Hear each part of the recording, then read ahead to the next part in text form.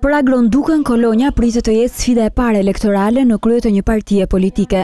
Ideja për të garuar në emër të opozitës me një kandidat të Partisë Agrare Ambientaliste për këtë bashki, thotë se ishte e tij.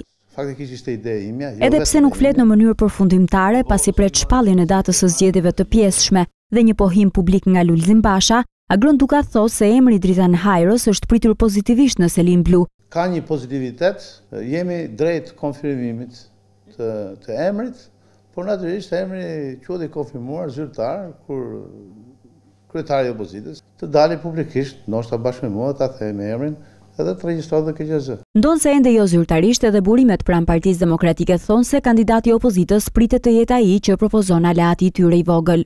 Sa për garën Duka vetë është mësuar të pranojë humbjen edhe në sport edhe në politikë dhe çfarë pason është shtrëngimi i duarve në fund të saj. Thonë se s'luhet vetëm, duhet të ketë patjetër kundërshtarë, pluralizmi kështu është.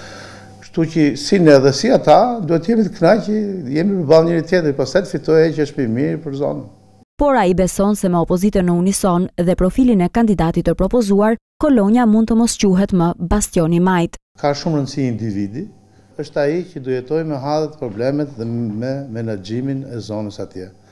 Duke u nisur nga kjo, ne jemi munduar të gjejmë një njeri që sipas nesh ka aftësitë të menaxhojë mirë zonën atje. Duka nuk pranon që lënia nga demokratët e kandidimit në dorë të një partie të vogël të jetë efekti i humbjes të thellë në Dibër. por dëshira e PAA-së për t'u provuar dhe kandidati që sipas tij është fitues. Do ishte mirë për ne, sepse siç u thashë dhe më parë, kjo është një zonë ku ne mund të shpalosim programin tonë si Parti Agrare Ambientaliste. Deputeti Agron Duka është në krye të Partisë Agrare Ambientaliste që prej pesë muajsh, duke ringritur strukturat thuajse inekzistente të partisë që historikisht pat drejtuar Lufter Xhuveli.